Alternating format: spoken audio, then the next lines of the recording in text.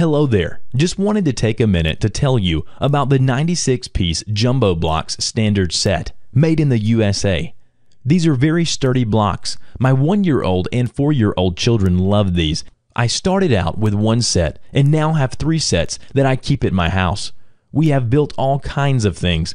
The one year old girls liked it when we built a little house with the clear plastic panels that were used as windows and we played peekaboo. We have had hours of fun with these. They are quite expensive, but they are really worth it. The four year old boy uses his imagination to build all kinds of things. Plus, there is a booklet with ideas which helps his follow patterns.